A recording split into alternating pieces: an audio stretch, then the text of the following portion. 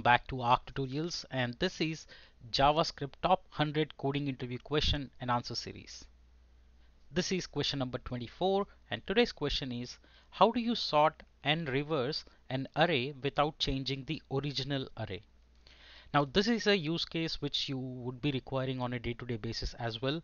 Uh, the challenge here is that you will be given an array, you don't want to change it but instead you just want to sort it and then reverse it right? So pretty much let's see how to do that in the hands-on now. Right uh, before we jump into the coding and hands-on section I will request you to check out the ebook that I've published which is on JavaScript top 100 uh, coding snippets that every developer must know.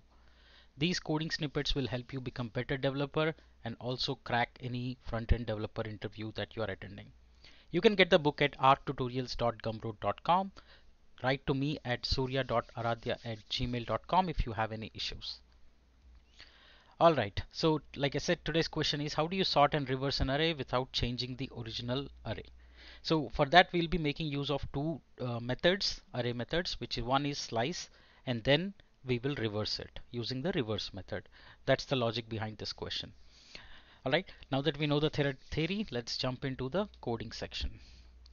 Right, so I'm going to delete that and I'm going to start fresh, throw in a script tag. And what we'll do here is simply create an array and then we'll fork it out, right? So let's say um, um, take any array that you want. Uh, you can define any array, um, say students or invoices or whatever you want to name it, right? Uh, I'm going to keep it string array for now. All right, last value.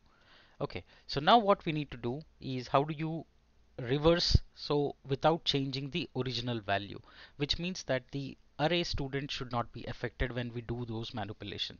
So what you can do is you can create a new variable, right? Okay, and then what you can do is on students array you can do a slice and then do a reverse right? So this is what we are expected. Now let's see the updated array. Right let's go to the console log and refresh and you see that the array is sorted and it's in reverse order right basically. So what we are taking is we are taking each array and then reversing it basically right? So whatever array you have it got reversed and with a slice right? So this is how you do it without changing the original array. So you just basically work on the array assign it to a new variable right? So now these are pretty much a junior uh, level kind of questions but even senior developers or someone who is experienced should also be aware of such methods right? So go ahead give it a try. Let me know if you have any questions. Uh, if you find any other way of doing it please do share that in comment section.